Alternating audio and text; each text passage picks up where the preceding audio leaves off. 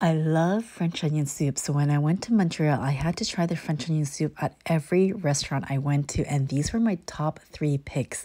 Super hot soup, cheesy, and so packed with onion flavor. Yummy, yummy, yummy.